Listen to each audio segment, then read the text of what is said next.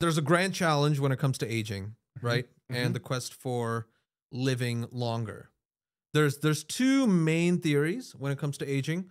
There's the programmed theory, which means that aging is a deliberate, genetically determined mechanism that makes us die, right? It's programmed into our genes such that the, the hormones kick in at a certain age. There's some internal clock that kicks in and that sort of it's it's part of evolution. It's it's it's a way to make sure that no one's living too long. Mhm. Okay. Then there's damage or error theories, which suggest that aging is actually just a cumulative result of environmental insults and imperfect repair. And if we were to somehow take care of those environmental factors and get rid of that imperfection in the repair of our body, then we will be able to live longer, right?